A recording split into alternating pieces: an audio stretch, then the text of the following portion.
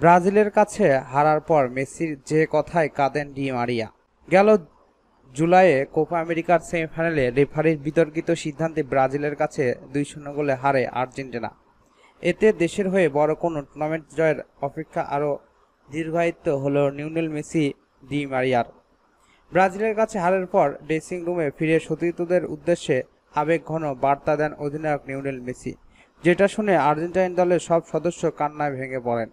ইএসপিএনকে দেয়া সাক্ষাৎকারে এসব কথা বলেন আলবে সেলেসাওরা উইঙ্কার অ্যাঞ্জেল ডি মারিয়া। সাক্ষাৎকারে তিনি আরও বলেন, ব্রাজিলের বিপক্ষে হারের পর চমৎকার সব কথা বলেন মেসি। উনি বলেন, আমরা হয়তো বেশি সময় একসঙ্গে থাকিনি। অনেকে প্রথমবার ডাক পেয়েছেন, কিন্তু অল্প দিনের মেলামেশাতেই মনে হচ্ছে বহুদিন ধরে একসঙ্গে আছে। সর্বোপরি আমাদের একটি দোর, দারুণ দল হয়েছে। ভবিষ্যতে আমাদের দেশকে অনেক ভালো সময় উপহার দেবে এই টিম। ডি মারিয়া বলেন, মেসি বলেছিলেন, আমরা টুর্নামেন্টের প্রথম দিন থেকে সবাই একই পথে লড়াই করছি। জাতীয় দলের জার্সির প্রতি তরুণদের নিবেদন দেখে আমার ভীষণ গর্ববোধ হচ্ছে। কোপা আমেরিকার তাদের প্রাপ্যটা আরও বেশি ছিল।